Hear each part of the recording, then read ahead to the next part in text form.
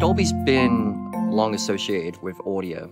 We've innovated in the cinema space for over 40 years now. And we're in a unique position that practically no other company occupies.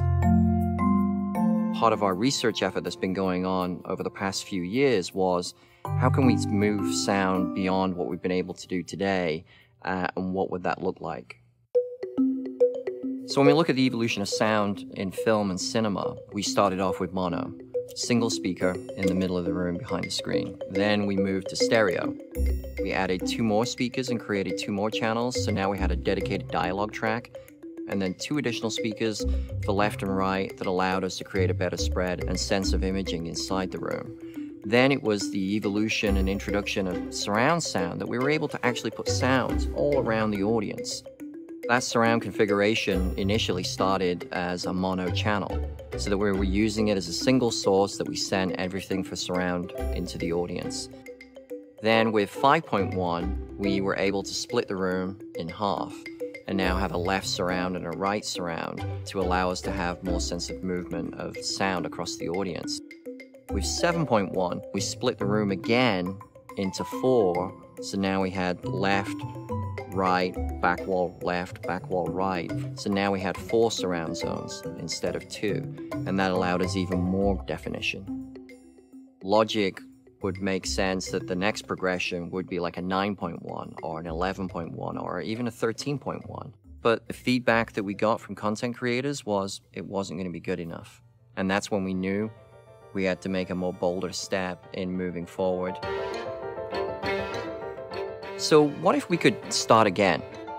What if we could go back and completely redefine how we bring the surround sound experience to audiences?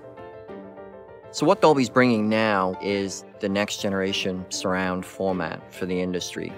With a channel based solution as we have today, if we look at how I move something around the audience, in 5.1, we had two zones. So if I wanted to create a sensation of movement, it's either here all here. It goes from one side of the room to the other. It doesn't really create that sensation of movement. With 7.1, I can now be on the side, then behind, then behind, and then to the side again. So it gives you the sensation of movement, but it doesn't have that precision of movement. So the fundamental shift in what's happening is that now we're migrating away from channels. The ability to move a sound through the room now with objects creates this precision movement, which is referred to as a pan-through array.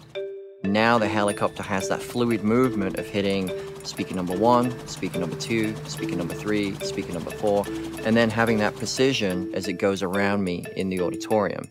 And now by placing speakers over the audience, we can truly create that immersive sound field that now makes it feel like the helicopter is literally buzzing over your head. Overhead surrounds for the first time adds that upper hemisphere of sound that we've been missing from films. With the next change of technology that can come to mixers, I think the things that really excites them, especially from a creative point of view, is the flexibility for the first time of being able to unmarry sound. When a film is mixed today, it's made up of many elements, and then all those elements are baked in. You can't go back and pull the ingredient out but with objects, you could now go back in, remove the object. So if the object was a music soundtrack, we could go in, pull it out, and replace it, and have more finite control and precision in the reproduction of sound.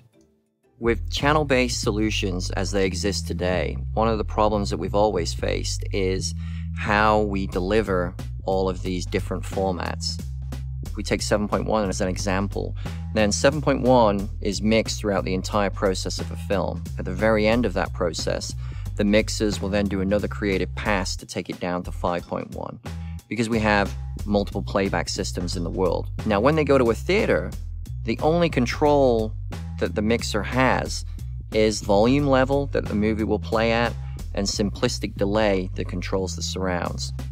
What Dolby's proposing is now they can mix in the biggest mode possible. This now goes out as a single deliverable file, carrying metadata and information that will accurately reflect what the mixer wanted. This dramatically simplifies the entire process.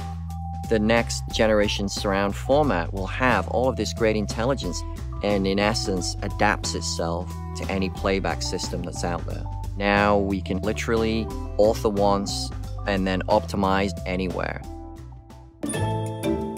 As a moviegoer, you already realized as you go to your local complex, every room is different. Their size, geometry, stadium seating.